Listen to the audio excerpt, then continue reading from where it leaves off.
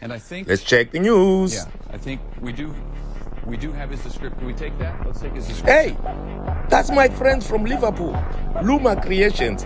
They are not suspects. What's wrong with you? Do your research properly. Okay.